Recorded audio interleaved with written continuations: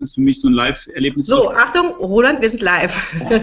Ja, Sie sehen, äh, ich, heiße, ich heiße Sie ganz herzlich willkommen bei unserem heutigen Hangout on Air hier bei Immobilien Scout 24.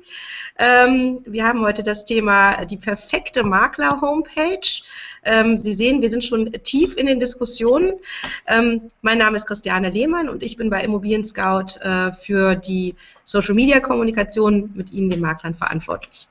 Ähm, meine Gäste sind Christoph Bernpohl, Makler aus Siegburg und wie immer Roland Kampmeier, Makler aus Köln. Die Herren stellen sich dann gleich selber vor. Vorher noch ein kleiner Hinweis. Wenn Sie mit Ihrer Maus in den linken Bereich gehen, öffnet sich dort eine Navigation. Und wenn Sie da auf das vierte Symbol klicken, da steht QA drauf und dann scheint auch so ein kleines Ding, wo Fragen steht. Wenn Sie da draufklicken, öffnet sich rechts das, die Fragenfunktion und dort können Sie dann eben während des Hangouts Fragen stellen. Und das gilt für alle, die sich mit einem Google Plus Profil eingeloggt haben. Ja, ähm, kurz eine Einordnung, bevor ich äh, an meine Gäste abgebe. Vor wenigen Wochen hatten wir ein Hangout zum Thema ähm, Online-Strategien für Makler. Ähm, und da war eigentlich das Ergebnis unserer Experten, dass die Makler-Homepage der Mittelpunkt äh, ja, der Online-Strategie ist und das Zuhause des Maklers darstellt. Und deswegen wollen wir uns heute diesen Mittelpunkt angucken. Und ähm, genau, und meine beiden Gäste erzählen jetzt, welche Ziele sie mit ihrer ja, für sie perfekten Homepage äh, verfolgen. Willst du anfangen, Christoph? Und sag nochmal ein, zwei Sätze zu dir und dann erzählst du, warum deine Homepage für dich perfekt ist. Ja, kann ich machen. Äh, Christoph Rampol ist mein Name. Ich arbeite in Siegburg. Das ist ja nun mal in der Nähe von Köln. Roland und ich, wir kennen uns ja auch nun mal hier aus dem Umfeld. Das heißt, so Süddeutschland und Norddeutschland holen wir jetzt einfach digital mit ins Boot und sprechen über, ja, was haben wir heute vor? Unsere Webseiten. Ne? Und ähm, ja, die große Frage, die vorab steht oder wir auch zwischen den Zeilen schon gelesen haben, ähm, da werde ich gefragt, warum ich denn keine Angebote bei mir drauf habe. Und ich glaube, so die perfekte Makler-Homepage, das ist eine Überschrift, die muss erstmal jeder für sich selber finden, weil ähm, die perfekte Homepage gibt es natürlich nur für den passenden Betrieb dazu. Wir können also nicht verallgemeinern, was jetzt die beste Seite ist. Ich habe das für mich so gefunden, dass ich mir erstmal überlegt habe, was will ich denn mit meiner Webseite überhaupt anstellen. Es gibt ja unterschiedliche ich sag mal, äh, so Zielgruppen, die man damit ansprechen will. Der eine macht eine Webvisitenkarte, der nächste will halt einen Blog schreiben, der dritte sagt, ich möchte gerne Informationen bereitstellen, der nächste will verkaufen. Da sind wir schon beim Punkt, was verkauft denn ein Makler, habe ich mich gefragt und ähm, unterm Strich kam ich zu dem Ergebnis, ich verkaufe ja keine Immobilien, sondern ich verkaufe meine Dienstleistung. Und ähm, dann habe ich mir überlegt, wen will ich mit meinen ähm, Internetauftritten denn überhaupt erreichen? Und die Zielgruppe dazu ist für mich ganz klar, das sind erstmal diejenigen, die meine Kunden werden sollen. Und jemand, der äh, eine Immobilie sucht, ist ja vielleicht noch gar nicht Kunde, sondern Interessent. Kunden sind ja in meinen Augen erstmal die, denen ich auch eine Rechnung schreiben darf. Und ähm, da steht bei mir ganz klar vorne der Eigentümer, also der, der verkaufen oder vermieten oder vielleicht auch mhm. bewerten will, der soll mein Kunde werden und den will ich damit ansprechen. Und dann dachte ich mir, wie mache ich das am besten? Ja, und äh, dann setzt man sich hin, entwickelt und tüftelt ein bisschen selber und ähm, die Idee, die dann dabei entstanden oder rausgekommen ist, die ist jetzt online und ich glaube, die Zuhörer haben meine Seite auch alle schon geklickt. Ich sehe das hier an den Zugriffszahlen. Das ist, geht auf einmal in die Höhe. Roland, sag du mal was. Ja, aber warte, äh, wir, wir vielleicht äh, dann doch nochmal die Frage, weil es, es tauchten ja auf Facebook schon Nachfragen auf, wie kann der denn äh, die perfekte Homepage äh, repräsentieren, wo da überhaupt keine Objekte sind? Was, was hast du dir dabei gedacht? Also wie ist deine, also jetzt so kurz wie möglich, wie ist deine Online-Strategie? Wo sind eigentlich deine Objekte? Weil das ist ja die große Frage, die sich ja alle stellen. Und wieso sind sie nicht auf deiner Homepage? Weil für die meisten ist das ja der Ort, wo die genau zu sein haben. Also für mich ist die Internetseite ein zentrales Akquiseinstrument. Das heißt, ich spreche Eigentümer damit an. Und äh, meine Angebote sind da, wo man Angebote sucht. Wenn jetzt ein Interessent auf den Markt geht und sagt, ähm, ich möchte gerne eine Wohnung mieten oder ein Haus kaufen, dann kennt er meinen Namen ja gar nicht, sondern unterm Strich entscheidet das Angebot und derjenige sucht da, wo es Angebote gibt, also in den Portalen, bei Zeitungen, wo auch immer. Und der muss mich ja erstmal kennenlernen. Also, um es zusammenzufassen, um es nochmal äh, zu verstehen, Du äh, möchtest erstmal deinen Namen, deine Marke sozusagen bekannt machen. Die Leute sollen dich finden und du gehst dann im nächsten Schritt davon aus ähm, und, und, und du, du, stellst Informationen bereit ähm, und du gehst davon aus, dass die ähm, ja, dass die äh, Eigentümer dich dann kontaktieren, weil ohne, ohne Vergleichsobjekte gesehen zu haben. Das ist ja das wahrscheinlich, was die anderen ähm, damit erreichen wollen, dass sie da Vergleichsobjekte haben. Ja, so soll das sein. Die Idee dazu, die entstand auch aus dem Thema Bestellerprinzip. Das heißt, wir kommunizieren ja auf der Webseite ganz genau, wir wollen da Anfragen generieren für diejenigen, die eben äh, die Angebote bekommen wollen, bevor die auf den Markt fallen. Mhm. Also wir geben ganz klar raus, ähm, wer sich bei uns meldet und einen Suchwunsch hinterlegt, dann eben auch den Makler bestellt, um ähm, äh, Angebote zu finden, die wollen wir abgreifen, bevor die auf den Markt gehen und sich die Angebote selber anklicken. Okay, das heißt, äh, ein Teil, also die Suchenden kommen übers Portal oder auch die nehmen äh, zu dir Kontakt auf. Und das genau. ist ja ein sehr selbstbewusstes Herangehen. Ja, ähm, diejenigen, die wirklich suchen, die tun das auch. Und wir haben seitdem ähm, gemerkt, dass die Leute sehr viel bereiter sind, ähm, Suchwünsche zu hinterlegen. Angefragt hat man ja schnell. Aber wer ernsthaft sucht, qualifizierte, äh, ich sag mal, Vorstellungen dafür hat, wie er gerne wohnen möchte, der ist bereit, die auch zu kommunizieren. Und die kriegen wir eben per E-Mail, per Anruf, wie auch immer, ähm, und holen die Leute nicht mit einem Angebot ab, sondern kommen ganz einfach ins Gespräch und können viel mehr darüber reden, wie die Leute gerne wohnen möchten und fahren dann noch äh, explizitere Selektionen. Okay. Ähm, Roland, äh, dann kommen wir vielleicht an dieser Stelle zu dir. Äh, zur Erleichterung für alle. Du hast Immobilien auf deiner Seite, aber welche Ziele verfolgst du? Was ist das Besondere bei dir? Ich habe in der Vorbesprechung gesagt, eigentlich dürfen wir diesen Hangout nicht machen, weil ähm, die perfekte Makler-Homepage gibt es nicht. Also das ist schon mal Punkt 1. Perfekt definieren wir, glaube ich, alle irgendwie anders. Ne?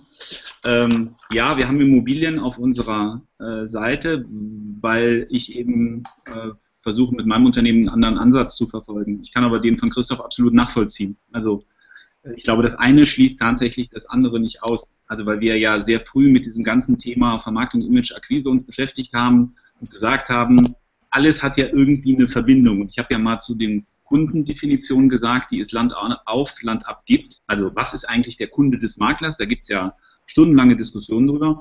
Ich habe dann immer mal gesagt, naja, also für mich gilt, ich weiß nicht, wer wer ist und vor allen Dingen nicht wann. Also die Situationen der Menschen verändern sich ja von Nachfrager zu Auftraggeber zu äh, Empfehlungsgeber zu Geschäftspartner und dann geht er wieder zurück in eine andere Situation hinein.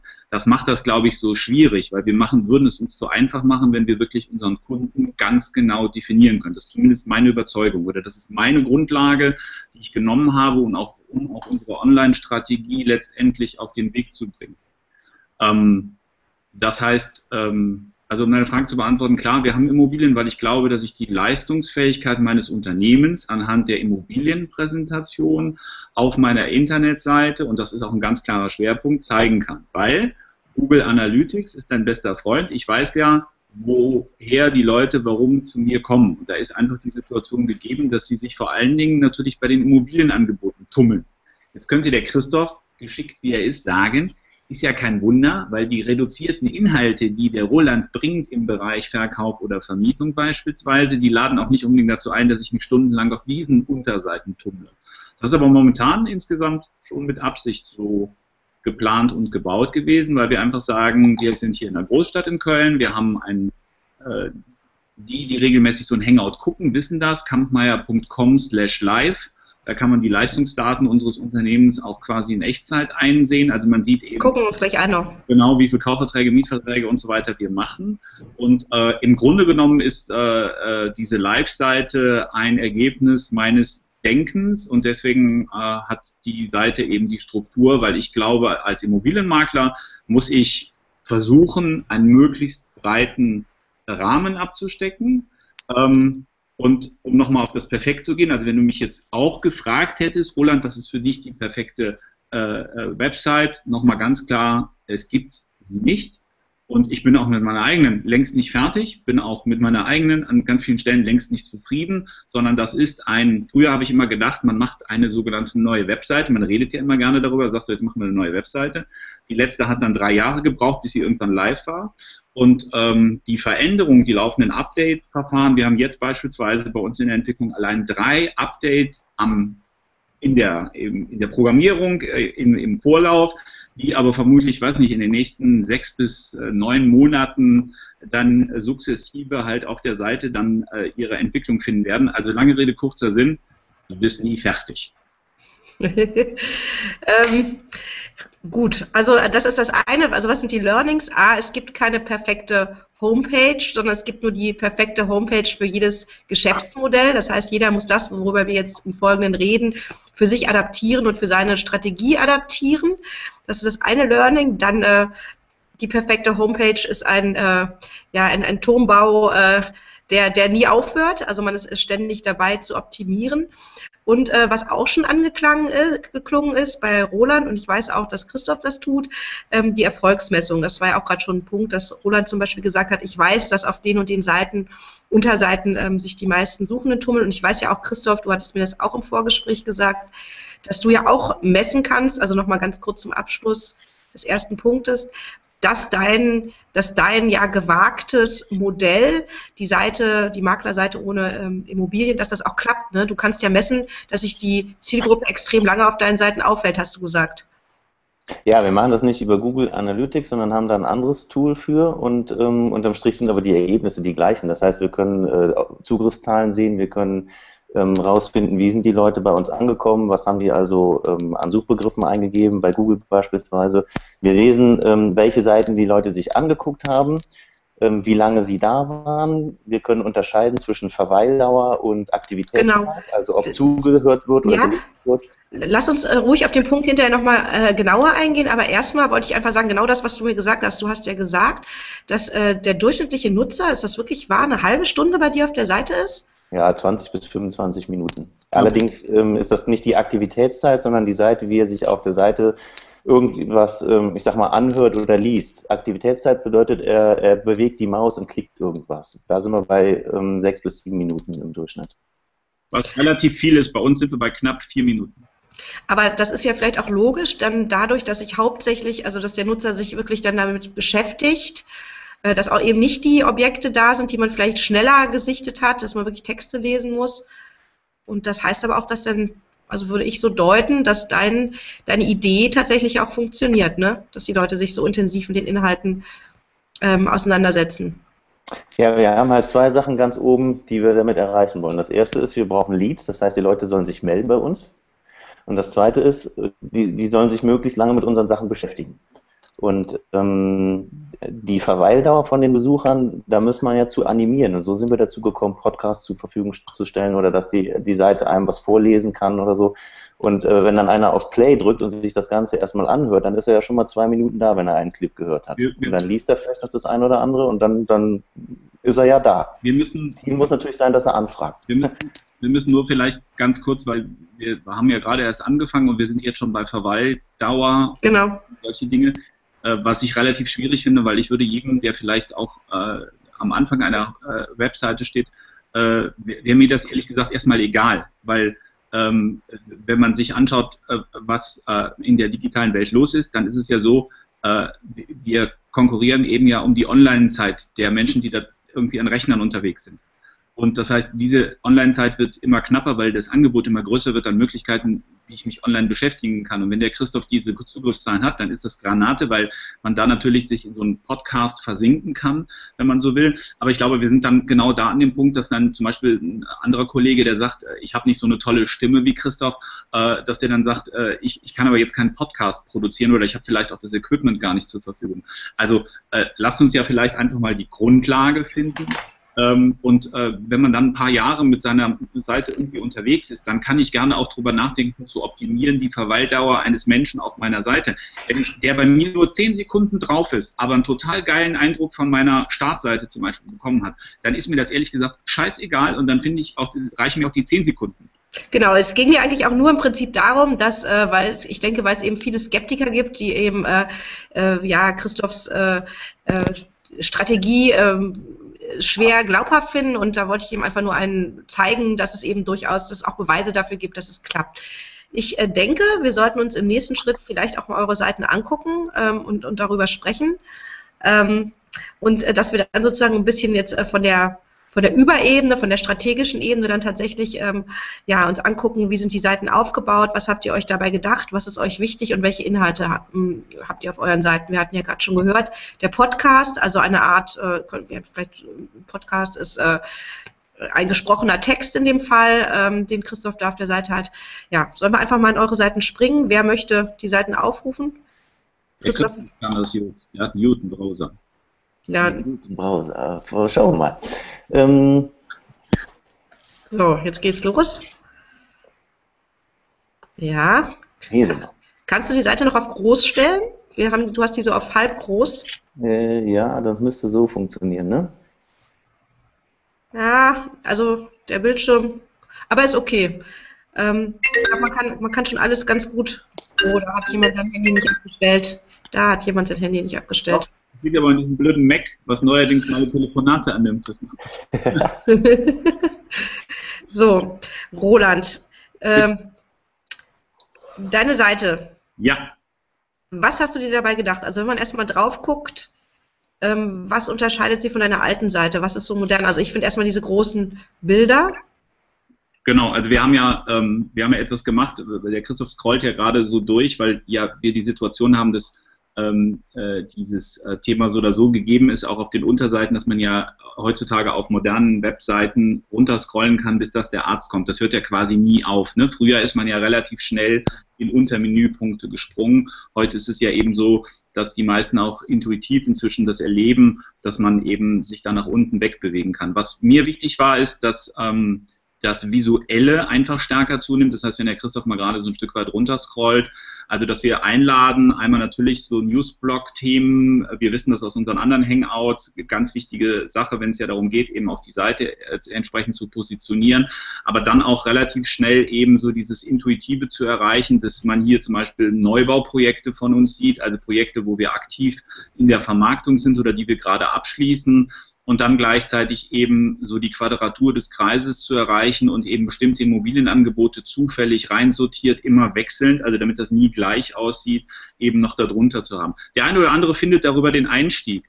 Äh, für den Kunden, den der Christoph eben so schön beschrieben hat und der für mich natürlich genauso elementar wichtig ist wie für Christoph auch, also für den nächsten Auftraggeber, äh, kann das manchmal schon reichen. Also wir fragen ja immer, woher kommst du? Und dann sagt er, ja, ich habe gegoogelt, dann war ich irgendwie mal bei euch, dann habe ich mir die Seite angeguckt und dann fand ich die total gut. Und wenn man dann nachfragt, ist das durchaus auch der eine oder andere, der einfach nur auf dieser Startseite war. Äh, oben der Slider ähm, hat dann auch nochmal äh, die, die Thematik, äh, im Moment sind drei Slider eben geschaltet. Das heißt, wir, wir gehen hier hin ähm, und ähm, geben hier noch zusätzliche Informationsmöglichkeiten. Also ich kann hier durchklicken und der nächste Slide, also Marktbericht beispielsweise oder eben. Vielleicht kann Christoph ja mal klicken. Ähm, Genau, er versucht gerade. Oder sonst nimm den Pfeil da rechts, Christoph. Genau. Im Bild. Die ähm, Ladezeiten sind nicht mehr so ein Problem wie früher. Früher hätte man das ja nicht gemacht, ne? Da hätten wir eine halbe Stunde Kaffee trinken können. Aber genau. das ist zum Beispiel auch so, das sind ja übrigens Dinge, die in der Technik äh, passieren und die heute nicht sichtbar sind. Wir sind zum Beispiel laufend daran, seit eben äh, wir mit der neuen Webseite, also jetzt seit über einem Jahr am Start sind, Ladezeiten, Stichwort eben äh, noch weiter zu verringern, damit eben diese Absprungraten auch so wenig wie möglich sind. Jetzt kommt zum Beispiel das Immobilienmagazin da reingeflogen, äh, wenn das eben neu erscheint. Also hier gibt es die Möglichkeiten, gleichzeitig kann ich aber eben oben in der Menüleiste, also oben drüber, auch äh, versuchen, mich relativ schnell zu orientieren. Das heißt, äh, wenn ich da mit der Maus einfach von links nach rechts rüber gehe, dann bin ich halt eben in diesen verschiedenen Themen drin. Und äh, wenn wir eben bestimmte Themen neu äh, äh, spielen, dann haben wir zum Beispiel bei Wir für Sie, weil es da Neuigkeiten gibt, weil wir gerade zwei Stellen suchen, dann ist dahinter auch ein Neu, also um auch nochmal auf diesen Menüpunkt vielleicht irgendwie aufmerksam zu machen und eben zu sagen, okay, äh, darum geht es jetzt. Ganz oben rechts war mir sehr wichtig, äh, die E-Mail-Adresse und die Telefonnummer. Ich gehe mal, äh, wenn ich auf einer Webseite bin, wie, ich habe mich schon bei ganz vielen Webseiten, also ich meine, das ist total Banane, aber ich habe mich schon zum Schänzchen gesucht für diese, wenn ich da irgendwo anrufen wollte und ich finde keine Telefonnummer. Christoph, wollen wir mal ganz kurz äh, zu dir springen, weil du hast die Telefonnummer ja auch noch zentraler, wenn man so möchte, ne? Ja, ich habe sie einmal hier oben in der, ähm, in der Kopfzeile drin, wo man auch die ganzen Social Media Kontakte hat. Aber und, ähm, einmal mittendrin als Call to Action Bereich, weil ich halt sage, ich möchte Leads generieren, die Leute sollen mich kontaktieren, indem man äh, die Seite besucht und ähm, an Informationen gibt es letztendlich äh, darüber, wer ich bin und was ich für die Leute tun kann. Und unterm äh, Strich bei jeder Seite, die man ähm, aufruft, ist unten immer die Kontaktmöglichkeit gegeben.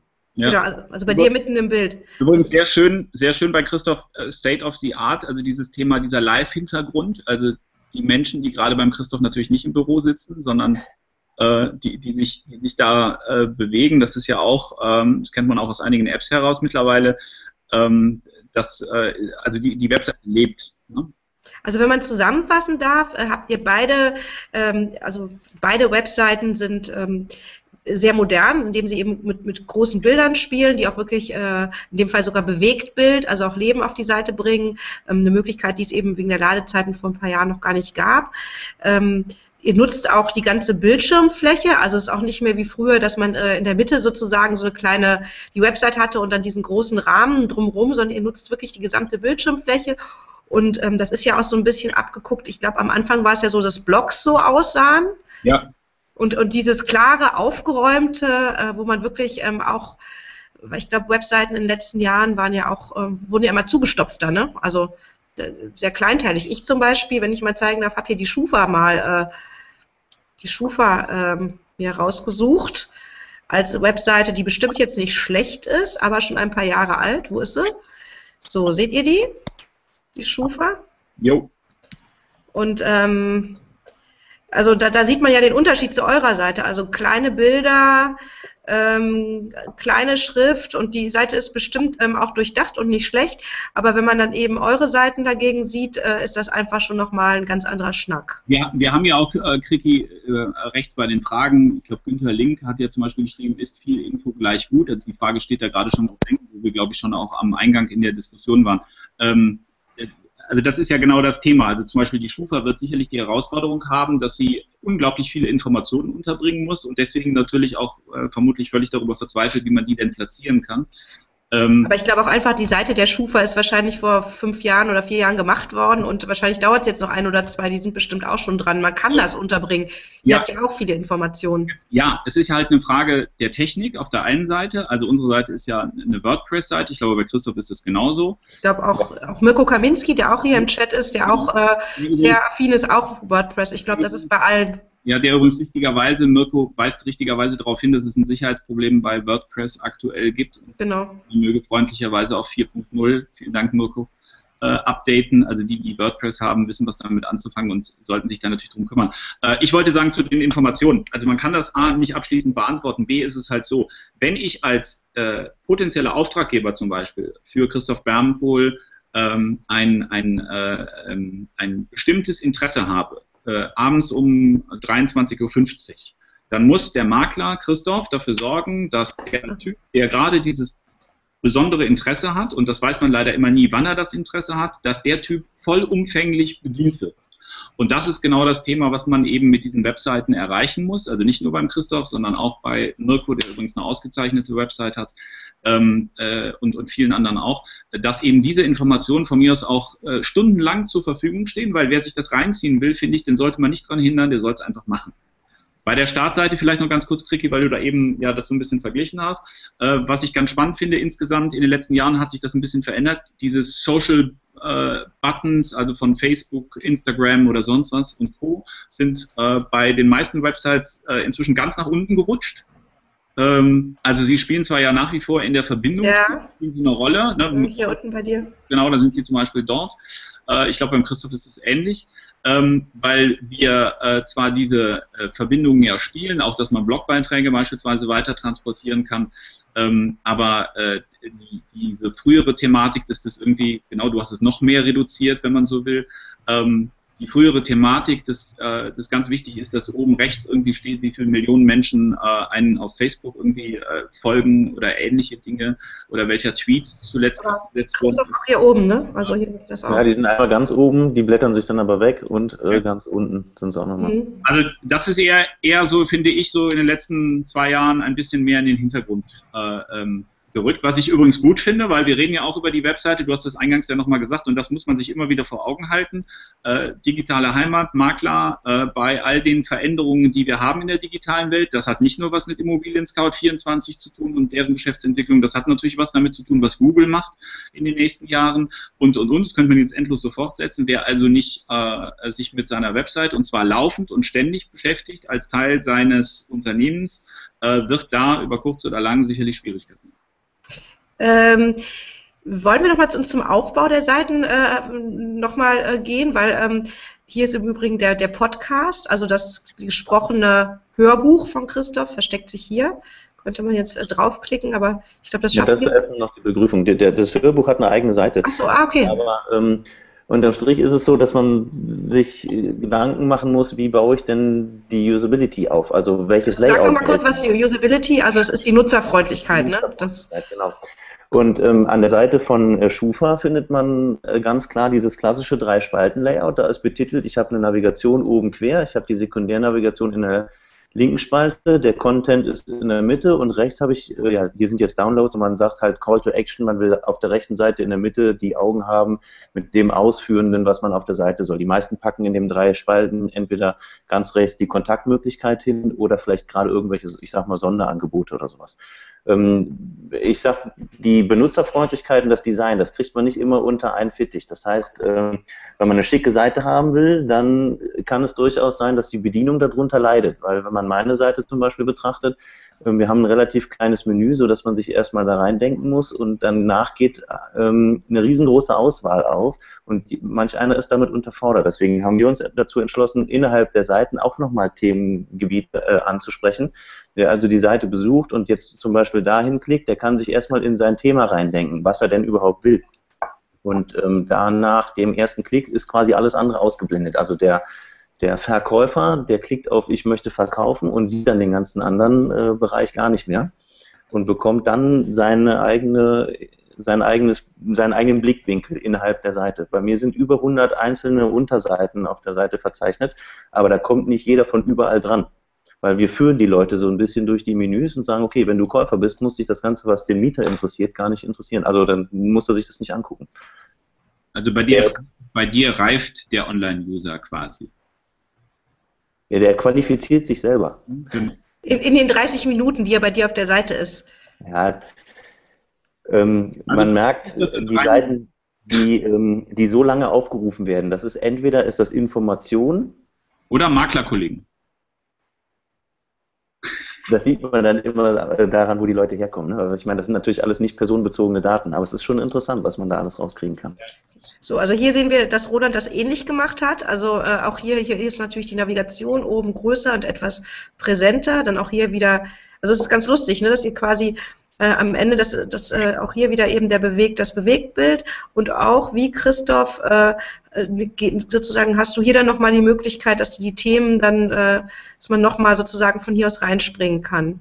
Also eben mit dieser Schwierigkeit, die Christoph schön beschrieben hat, weil wir jeder kommt da mit ganz unterschiedlichen Intentionen. Man muss da auch ein bisschen ausprobieren. Also ich finde es auch ein bisschen schwierig für sich zu definieren, äh, was ist jetzt also eine gute Benutzerfreundlichkeit und was ist keine gute Benutzerfreundlichkeit. Ne? Also man, nur weil jetzt alle irgendwas in die eine Richtung immer äh, bei Webseiten machen, weiß ich gar nicht, ob es denn immer so stimmt. Ähm, mir, mir, hat neulich zum Beispiel auch mal jemand gesagt, naja, also äh, ähm, Dinge mit Ton auf der Internetseite, also zum Beispiel Christophs Podcast oder eben auch gar ein Video, was man ja mit Ton hören muss, damit man die Informationen hat. Das wäre ja gar nicht so gut, weil wenn die Leute heimlich äh, am Arbeitsplatz am Surfen sind beispielsweise und klicken also jetzt aus Versehen auf Christophs Podcast, äh, dann werden sie relativ leicht und schnell identifiziert als äh, äh, ähm, äh Immobilien, zukünftige Immobilienverkäufer mitten äh, während der Arbeitszeit. Also ne?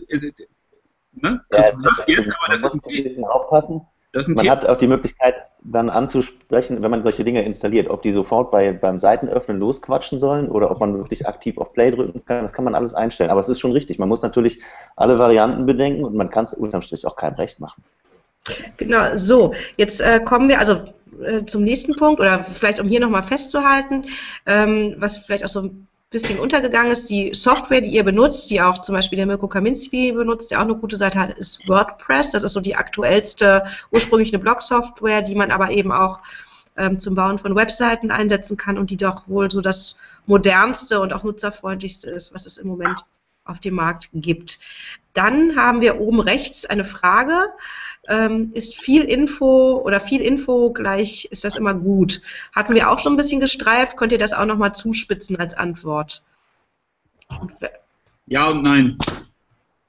Also es gibt, es gibt, ich weiß nicht, wie Christoph das sieht, aber ich, ähm, mir sind manche Inhalte bei Christoph deutlich zu lang, mir sind manche Inhalte bei mir ganz deutlich zu kurz. Äh, kann ja jeder nochmal, wir sind bei dem Punkt, was ich eben gesagt habe. Äh, wenn du um 23.50 Uhr deine Frau verlässt und hast bestimmte Anforderungen willst dich umfassend informieren, ist der Christoph die Granatenseite.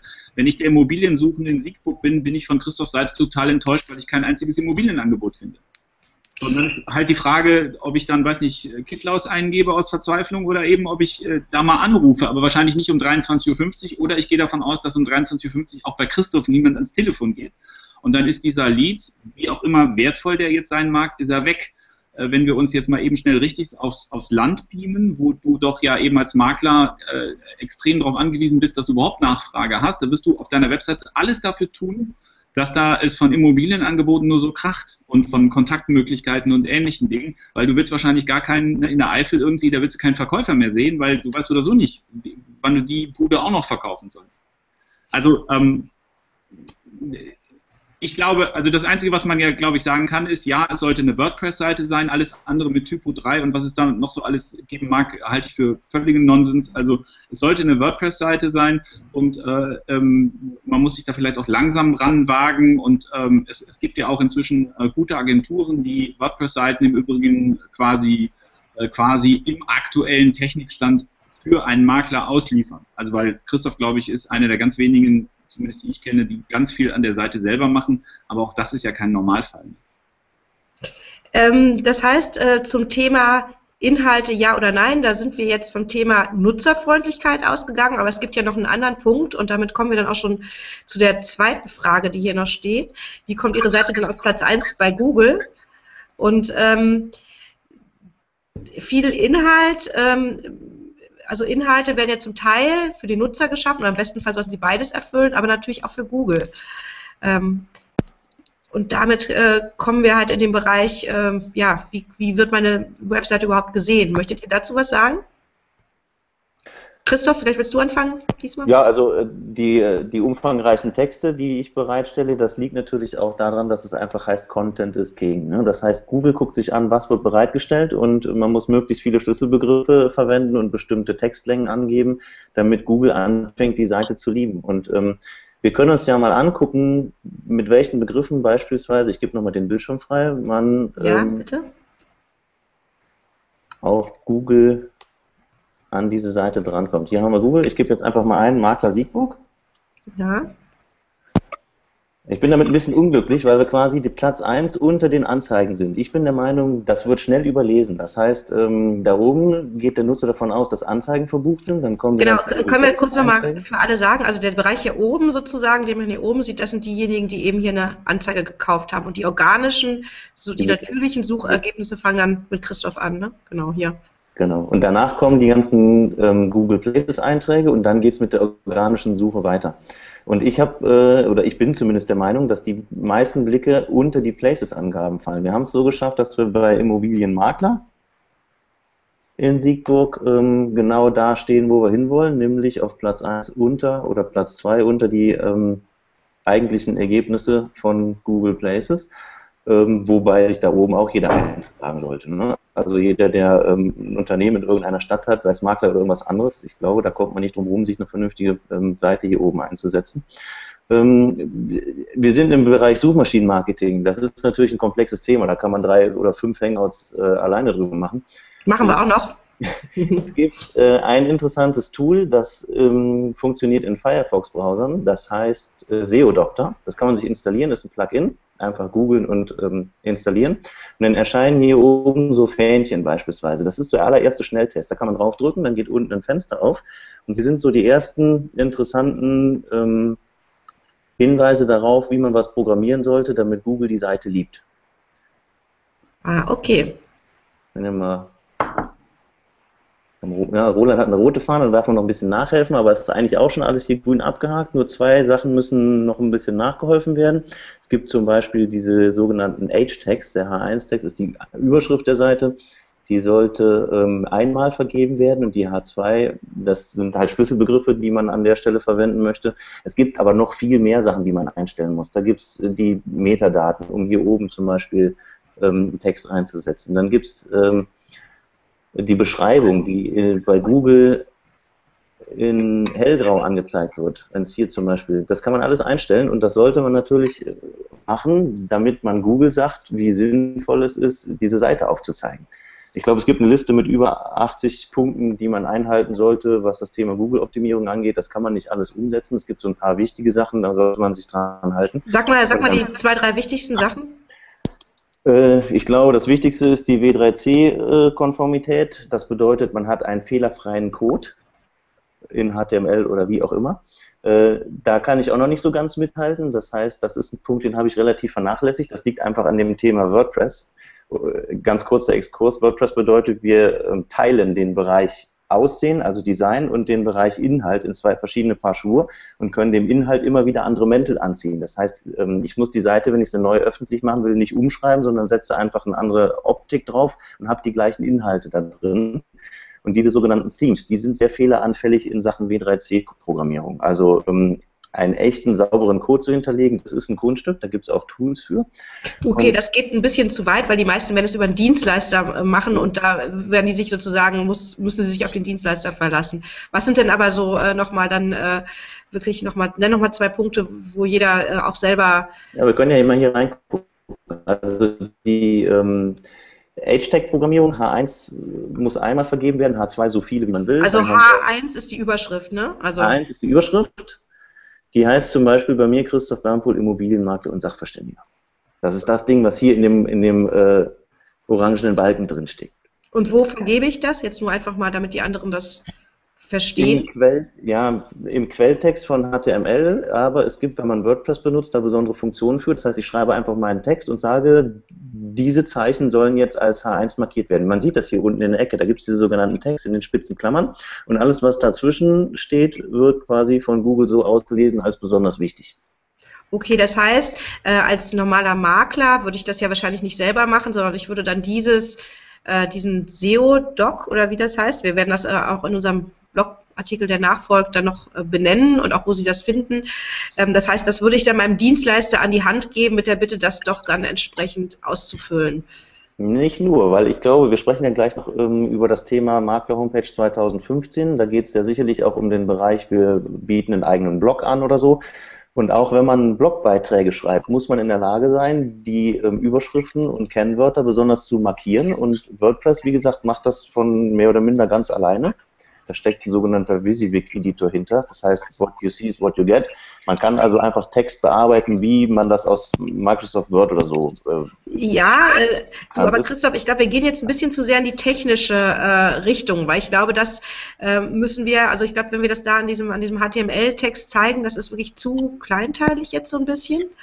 Ja, aber diejenigen, die später einen Blog schreiben wollen und dafür, was weiß ich, WordPress oder Joomla oder Typo 3 oder was auch immer benutzen, ähm, Fakt ist ja, man will, wenn man einen Blog betreibt, diese Inhalte ja selber schreiben und nicht über eine Agentur. Aber, aber äh, so, äh, du lass uns erstmal vom Blog weggehen, ähm, äh, okay. weil ich, ich glaube, wichtig äh, ist, ähm, dass man eben, ähm, also man sagt ja eben doch, und darauf wollte ich vielleicht hinaus, dass Inhalte auch durchaus wichtig sind, ähm, weil man eben zu bestimmten Keywords dann von Google gefunden wird, die man eben auf verschiedenen Seiten verteilt hat. Ähm, und äh, die On-Page-Optimierung ist ja auch nochmal wichtig. Ne? Also das geht ja auch. Äh, aber wir können, Kriki, wir können das jetzt im technischen Bereich, wir können das jetzt endlos so fortsetzen. Also wir können darüber sprechen, dass deine Google-Relevanz auch was damit zu tun hat, wie viel Backlinks, also sprich, wie viel, wie viel andere Seiten auf deine Seite verlinken und wie interessant diese Seiten sind, die da gerade auf dich verlinken. Auch das führt ja wiederum dazu, dass du eine andere Sichtbarkeit bekommst. Google entwickelt ja im Übrigen auch laufend dieses ganze Content-Thema weiter, also welche Relevanz das hat. Und das hat ja zum Beispiel jetzt in den letzten Monaten nochmal, es gab diverse sogenannte, äh, also ich glaube, weiß nicht, Panda, wie viel Punkt Null es jetzt zuletzt gegeben hat, der dann wiederum auch die Sichtbarkeit deiner Seite wieder neu sortiert hat. äh, der äh, dann aber auch zum Beispiel ähm, dem, dem Seiteninhaber immer wieder, also bei uns ist es zum Beispiel aktuell auch so, immer wieder neue Aufgaben gibt, wo, wo wir dann wieder unsere Hausaufgaben machen müssen, weil dann Google plötzlich meint, äh, bestimmte Dinge wieder anders zu sehen. Aktuellster letztes Beispiel, Thema Mobile. Google hat beschlossen, dass sämtliche Seiten, die äh, mobile-friendly sind, äh, zukünftig A, besonders markiert werden und B, nicht nur, dass sie besonders markiert werden, sie bekommen eben auch äh, eine höhere Relevanz, werden also höher eingeordnet, damit eben der Suchende äh, auf den immer größeren Handhelds, mit denen er durch äh, die Welt rennt, äh, die Inhalte tatsächlich äh, sehen kann.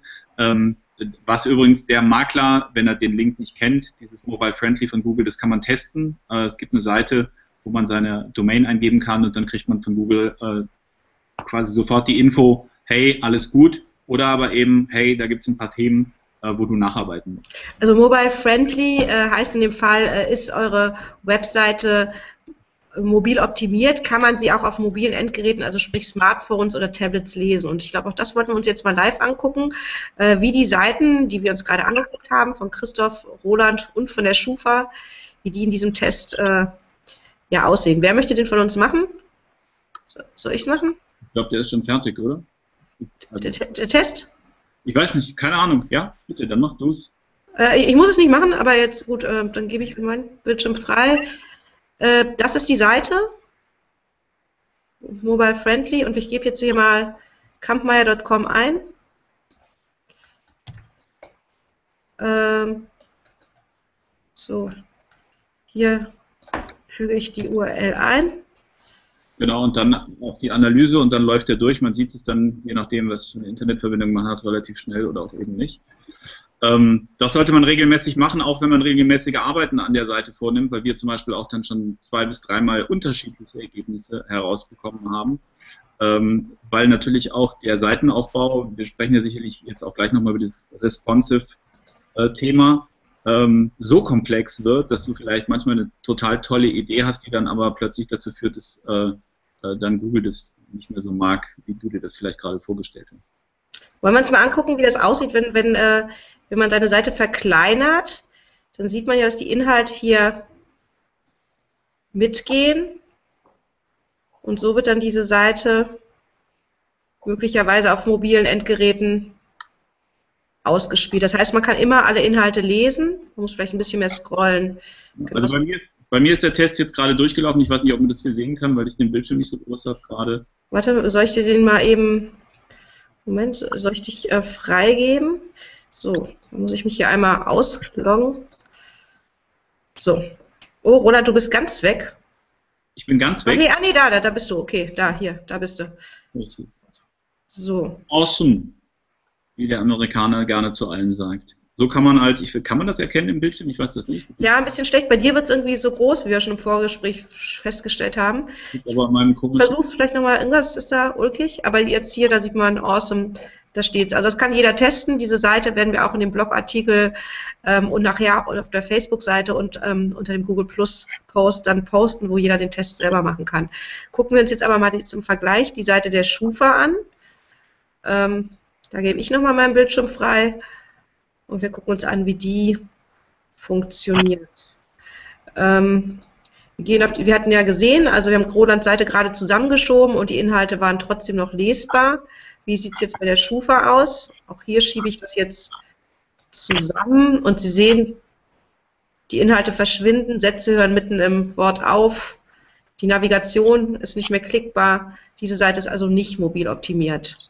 Man, das Schöne ist, man kann auch die mobilen Seiten so ein bisschen anders aufstellen als die eigentlichen. Wenn du das bei meiner Seite machst, Ricky, da wird man sehen, ab ja. einer gewissen Auflösung verschwindet dieses Hintergrundvideo. Das heißt, ich habe das auf Handys zum Beispiel nicht drin, weil ein Video hat natürlich eine, eine, enorme Datenmenge zu laden und wenn jetzt ein User mit seinem iPhone oder so dann äh, online geht, dann hat er keine Lust darauf zu warten. Und dementsprechend habe ich das bei mobiler Ansicht deaktiviert. Also wenn ich die, mal wieder auf die Startseite gehen. So, nach oben scrollen. Wenn ihr zusammenschiebst, genau. verschwindet das ab einer gewissen Größe. Ja. Also wir arbeiten mit dem Slider beispielsweise mhm. ab einer gewissen Größe mobil dann auch nicht mehr, weil wir den dann wegnehmen. Um das einfach noch, auch von den Ladezeiten, wenn man mobil ist, hat man ja sehr unterschiedliche Datenverbindungen, um das eben entsprechend kürzer zu gestalten. Hier ist er weg, der Slider, ne? Also Vielleicht äh, tricky, wichtig. Ähm, was nicht mehr ganz aktuell ist, ist, wenn man so eine total abgespeckte mobile Seite macht.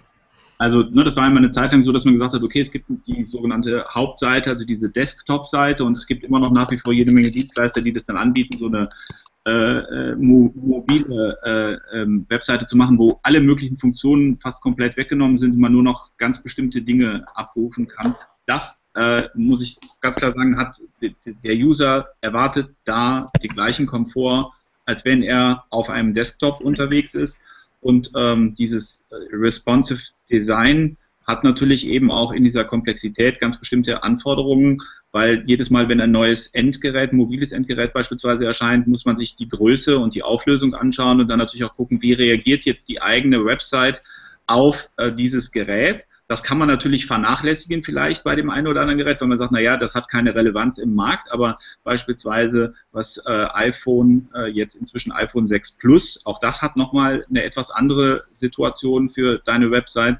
Äh, das iPad Air, also das große iPad, wenn man so will, ist äh, sehr, sehr wichtig und man kann ja dann bei Google Analytics, kannst du ja sehen für deine Webseite, wer mit welchen Endgeräten, das ist ja auszulesen, eben auf deine Seite zugreift, was wiederum den Vorteil hat, dass du äh, eben dich dann vielleicht ein bisschen darauf einstellen kannst. Bisschen schwierig ist die Android-Welt, weil ähm, die, die, der, der Anteil eben von Android-Geräten in, in der Mobilität ist unglaublich hoch, aber die unterschiedliche äh, Ausrüstung an Hardware, also diese, diese ähm, die Smartphones sind sehr unterschiedlich in ihrer Qualität und auch die Displays haben äh, extrem viele äh, Größen in Verbindung mit, den, mit, mit der entsprechenden Software da drauf. Äh, und das macht es natürlich relativ schwierig, dann irgendwann wirklich für alle Geräte dieser Erde quasi deine Inhalte zur Verfügung zu stellen. Das, das heißt, ähm, wenn, wir, wenn wir jetzt nochmal zusammenfassen, ähm, äh, eigentlich eine, eine, mobile Optimierung ist heutzutage, wenn man sich eine neue Website baut, äh, unumgänglich. Und auch da sollte man sich eben genau überlegen, welche, welchen Komfort, dass der Nutzer mittlerweile auch äh, ja, den Lesekomfort gewöhnt ist und dass man die wichtigsten Informationen eben entsprechend auch dort bereitstellt. Ja, im, äh, im Grunde genommen alle Informationen bereitstellt, weil du wieder nicht weißt, was er dort abruft. Du musst halt nur dich dann von gewissen Spielereien verabschieden. Also zum Beispiel dieses Live-Video-Hintergrund vom, vom äh, Christoph, das würde man eben bei einer mobilen Version, äh, kann man das zwar auch noch machen, also das geht inzwischen, aber da ist ja halt immer die Frage, äh, du rennst ja hier nicht durch Deutschland, äh, ne, die, die Frage können wir uns selber beantworten, wie, oft hast du denn da oben LTE stehen? In Innenstädten vielleicht dann eher schon mal, aber ich, wenn du dann mal guckst äh, und bist sonst wo unterwegs, du musst ja immer von dem schlechtesten Fall ausgehen, nie von dem besten äh, Fall. Und da sind wir wieder am Anfang, was Sie gesagt haben. Äh, unsere Herausforderung ist die Online-Zeit der User. Und die ist, äh, die haben manchmal zwischen zwei Zügen genau äh, drei Minuten Zeit, irgendeine Information zu ziehen. Und wenn du sie nicht bereitstellst, stellt sie garantiert irgendjemand anderes bereit. Genau. Hinzu kommt ja auch, dass Videos zum Beispiel nicht geladen werden, wenn man äh, weniger als 20 Prozent auf dem Handy hat. Also tatsächlich äh, macht Sinn, da abzuspecken. Ähm, der nächste Punkt auf meiner Liste ähm, betrifft die Vernetzung. Klar, wir haben gesagt, ähm, die Homepage ist der Mittelpunkt, ähm, aber äh, die Inhalte streut ihr ja wahrscheinlich trotzdem über soziale Medien, ähm, vernetzt äh, auch mit den Portalen eventuell, wo ihr dann eben eure Objekte auch nochmal eingestellt habt, beziehungsweise von den Portalen äh, holt ihr die Leute ab und leitet sie auf eure Homepage nochmal ganz kurz, ähm, wie, wie sieht bei euch diese, diese Vernetzung aus? Oder wie nutzt ihr zum Beispiel soziale Medien, um eure Inhalte zu pushen? Oder Leute auf eure Webseite zu holen? Naja, also wir haben ja zum einen die üblichen bekannten Social Networks, also Facebook, Google äh, Twitter. Äh, die Verbindung äh, äh zu diesen drei Netzwerken, die würde ich mal als relevant bezeichnen. Man kann das sicherlich noch ausbauen mit, mit, mit Instagram und Pinterest und, äh, weiß nicht, Foursquare oder da gibt es ja noch ein paar andere Möglichkeiten. Ist ja halt die Frage, wie wichtig ist es dann tatsächlich? Also ich kenne ähm, kaum einen Immobilienmakler beispielsweise, der auf Pinterest, wo man ja so Bilder so schön pinnen kann, äh, ähm, der das wirklich pflegt und macht, während in Amerika Mirko, Mirko macht's, Mirko Kaminski. Genau, Mirko macht es, also bei Mirko Kaminski bitte äh, da mal hingehen und sich das mal anschauen. Also es sind ganz wenige, die das tun. Ähm, das ist zum Beispiel eine Möglichkeit. wir machen es nicht oder wir haben mal irgendwann so einen Account angefangen, ohne ihn aber wirklich dann weiterzuführen. Ähm, und die Verbindung sieht wie folgt aus: einmal über den ähm, äh, über die Seite Newsblog, also wo wir unsere ähm, Blogartikel veröffentlichen. Dort kannst du diesen Artikel eben teilen in die Welt. Also du kannst sagen, auf Facebook, der gefällt mir. Du kannst eben bei Google Plus ihn weiter transportieren oder eben auch bei Twitter verschicken. Was wiederum dazu führt, wir wissen das aus unseren Analysetools heraus, Google misst das auch ausdrücklich, also welche Interaktion. Okay welche Interaktion hat meine Seite mit diesen sozialen Netzwerken und da sind eben vor allen Dingen aus Google-Sicht natürlich Google Plus äh, ähm, besonders relevant, Facebook und eben auch Twitter und insofern sollte man diese Verbindungen auch tatsächlich schaffen. Ähm, äh, und du hast natürlich eben, du hast eben Immobilienportale oder auch unsere Immobilienangebote äh, aufgeführt. Das heißt, wenn du ja auf den Immobilienportalen bist, dann kannst du ja eben auch einen Link setzen, äh, ähm, je nachdem, wie du das eben einstellst in deinem Immobilienangebot, um dann eben bei uns auf der Seite dann, dann weiter zu gucken. Das sind aber dann ja, also bei uns in diesem Falle ja meist konkret Suchende, die das tun. Ähm, und ähm, ja, da gäbe es, glaube ich, noch einen dritten Block, wenn man so will hast du Geschäftspartner, äh, Kunden, mit denen du zusammenarbeitest, wo du die eben bei dir auf der Seite nochmal als Unternehmen äh, präsentierst. Also das wäre auch noch eine Netzwerkarbeit, wenn man so will. Das heißt, äh, da setzt man eben dann gegenseitige Links auf, den, äh, auf die entsprechende gegenseitige Seite, weil man sich vielleicht miteinander oder gegenseitig empfiehlt. So. Und auch das ist für Google nochmal eine gewisse Relevanz, also wie viele von diesen von diesen echten Links. Also ich meine jetzt nicht irgendwie äh, von, von, von irgendwelchen äh, äh, Linkfarmen, sondern eben von diesen äh, guten Links, wenn man so will. Google unterscheidet übrigens zwischen guten, weniger guten Links. Die können das, die sehen das, wissen das. Ähm, und das ist halt auch nochmal für ähm, unsere Seite dann relevant. Christoph, willst du zum Abschluss auch nochmal erzählen, wie du dich, wie du deine Seite vernetzt äh, mit den verschiedenen, ja, statt anderen Orten, Plattformen, an denen du im Netz äh, präsent bist? Äh, ja, kurz vorab, wer das gerne mal bei sich testen möchte, wie er da im Moment aufgestellt ist, es gibt die Seite seitwert.de. Einfach mal seine URL eintippen und gucken, was passiert.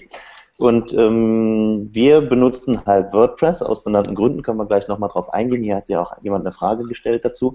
Ähm, WordPress kann eine Besonderheit. Da ist eine Technik eingebaut, die heißt RSS. Und dieses RSS-Feed, was da ausgegeben werden kann, das bedeutet, ich kann mit entsprechenden Tools diese ganzen Social-Media-Plattformen auf Knopfdruck bedienen, ohne dass ich dafür irgendwie Zeit brauche oder sowas. Das heißt, ich schreibe einen neuen Beitrag in WordPress, veröffentliche den auf meiner Seite und äh, sage der Software und jetzt schick den zu Twitter, schick den zu Facebook, schick den zu Zing und so weiter und so fort. Und ich muss das nicht mehr manuell machen. Das ist ja, da alles schon. Als Social Media Manager natürlich ganz, äh, ganz äh, auf Kriegsfuß mit, weil ich halt sage, äh, ähm, die, die, persönliche Ansprache ist auch wichtig. Aber grundsätzlich, ähm, klar, äh, erstmal die Möglichkeit besteht und du teilst damit natürlich deine Inhalte in die entsprechenden Netzwerke.